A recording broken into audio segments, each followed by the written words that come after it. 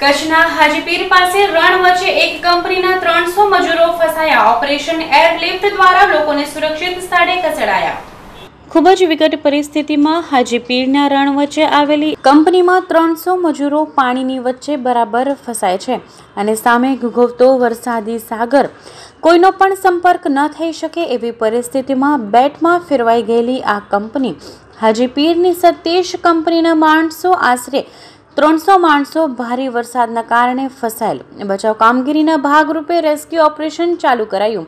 જામનગર એરફોર્સથી ખાસ હેલિકોપ્ટરો બોલાવવામાં આવી અને તરત જ એનડીઆરએફની ટીમ તૈનાત કરવામાં આવી. પોલીસ અને સ્થાનિક લોકોને જાણ કરી અને સમગ્ર રેસ્ક્યુ ઓપરેશન પાર પાડવામાં આવે છે. રેસ્ક્યુ ઓપરેશનના મોટા રિસ્ક બાદ લોકોને સુરક્ષિત સ્થળે લઈ જવાય છે. ત્યારબાદ અમુક લોકોને એનડીઆરએફ રેસ્ક્યુ ટીમ દ્વારા બોટ દ્વારા સુરક્ષિત સ્થળે લેવામાં આવે છે.